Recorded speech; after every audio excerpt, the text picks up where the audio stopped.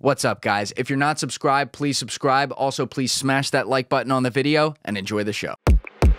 Okay, so black holes are, we think, are real objects, and we've actually been able to image something we think is a black hole. And as I say, Kip Thorne's done a lot of work on black holes. Among that's not what he won the Nobel Prize for.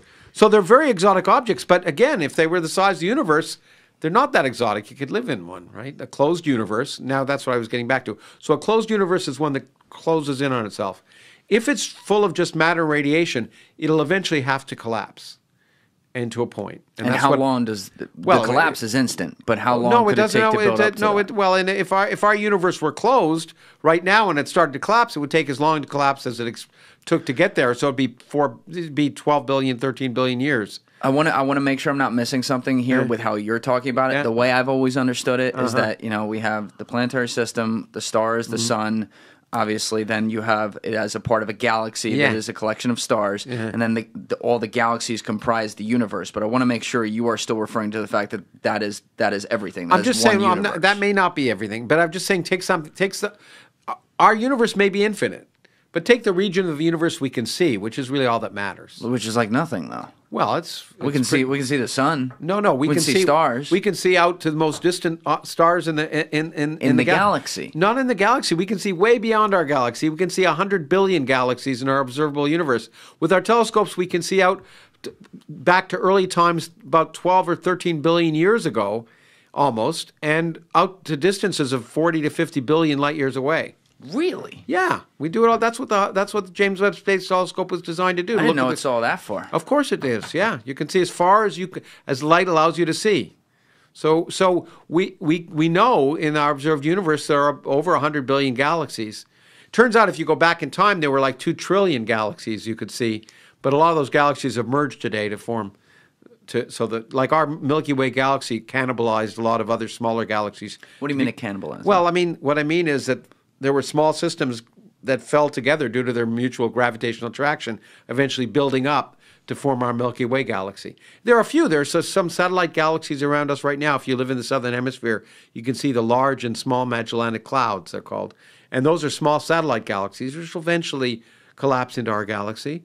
You, you can see the Andromeda galaxy, which is two million light years away. Looks just like our galaxy. It's a beautiful thing mm. with the reasonable telescope.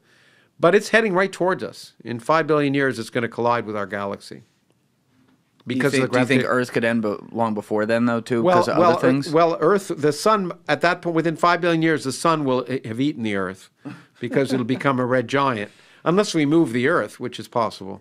How And would we move the Earth? Hold Oh, on. it's easy. You can't just say that. I mean, it's easy. I threw it out We're there. trying to get to Mars right now, and I know hard. that's going to be hard, but in a in a five billion years, maybe you could move the Earth. It might be easier to move the Earth than to get to Mars in a way.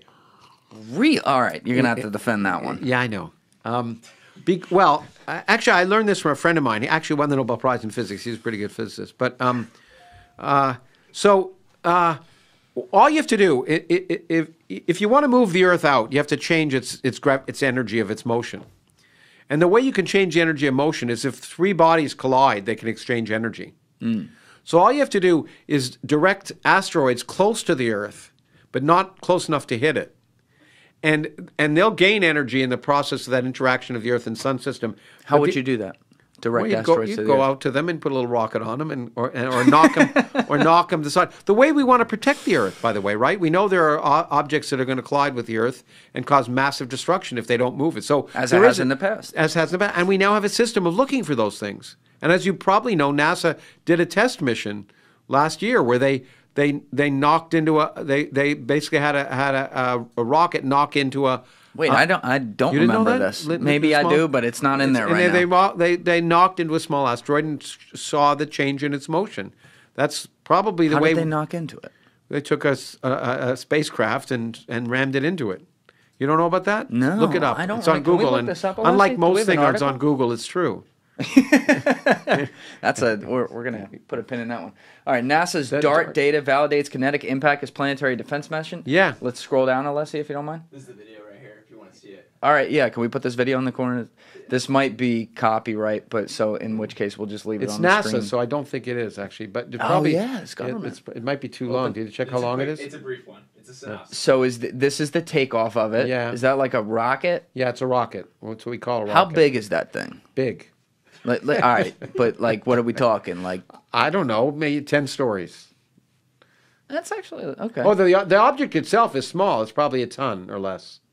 Did it? Ha- did they put anything special in there, like a nuclear bomb or No, something? no, I- no, no, no. They don't. No, they just hit it.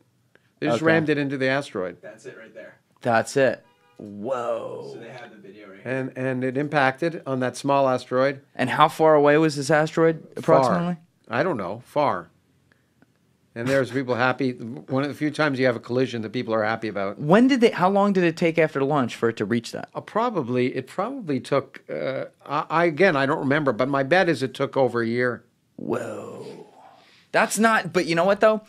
That's not that far. No, I know, but that point is that if you know far, if we, if we have a planetary defense system where we have telescopes looking for potential Earth colliding objects that are say that will take ten years to get here, if we see them far enough, you know, maybe take ten years to get here, then you might imagine getting a rocket and launching it with enough time to deflect its trajectory by enough to to to miss the Earth, and that's the hmm. idea of planetary defense.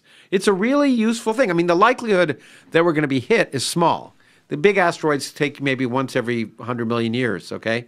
Smaller we'll ones. okay. Well, those are Earth-destroying asteroids, but ones that could cause havoc are probably, you know, more frequent. But it's not that not that frequent. But it's still a reality, unlike many things that people spend money on. Thank you for watching the video, guys. Please hit that subscribe button and check out this clip's full podcast episode by clicking here or in the description below.